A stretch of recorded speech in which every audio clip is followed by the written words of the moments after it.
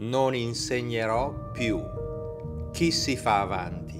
Ancora pochi anni e non insegnerò più, quindi mi appresto a precisare tutto quel che posso. Non devono rimanere dubbi sul conto del Reiki. Mi hanno scritto, dopo la tua sono sorte altre scuole Reiki con il principio dell'offerta libera, trovo che sia una buona cosa, ti pare? No, non sempre mi pare, perché il fatto di insegnare ad offerta libera non è di per sé stessa una garanzia di qualità dei corsi.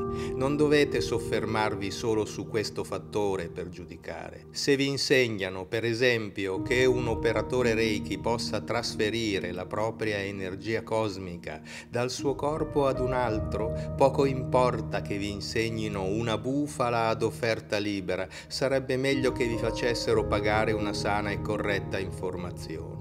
Se vi dicono che durante le iniziazioni si possono avere visioni di angeli, spiriti guida o divinità di ogni genere, senza spiegarvi che, in verità, qualunque visione accade a causa di normali episodi ipnagogici o ipnopompici, vi stanno rifilando un insegnamento sensazionalistico e qualunque offerta facciate la farete dopo essere stati presi per il naso se vi convincono che se, durante le iniziazioni, vi accade di piangere o di lasciarvi andare emotivamente, ciò sia dovuto all'energia cosmica che il Maestro ha trasferito in voi, non sanno nulla del fenomeno psicologico chiamato abreazione e le vostre offerte libere saranno date in cambio del nulla illusorio, alimentando il fanatismo. Se vi vogliono far credere che vi doneranno la possibilità di guarire le persone a distanza, usando simboli mentali dal potere oggettivo,